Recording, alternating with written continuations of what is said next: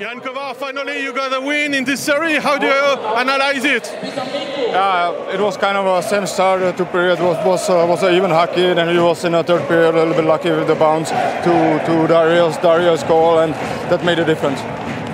You had more speed, you had more shots, you had more uh, power plays.